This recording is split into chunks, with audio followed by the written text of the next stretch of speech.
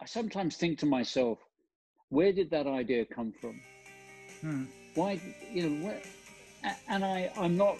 Don't get me wrong. Listen, I am not religious at all. I was, I was brought up a Catholic. I am not religious. I thought it was a load of rubbish. Um, I, I spent most of my youth laughing at it.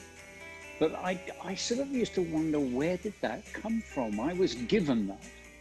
And I do think there is something out there that gives you things, whether it's a sort of uh, a global force, whether it's an appreciation, whether it's a sort of concern for others, whether it's a whatever it is, whether it's a keeping your spirit open, your soul open. I sense there is something out there that gives you things. And if you're open to it, you take it. If not, it passes you by.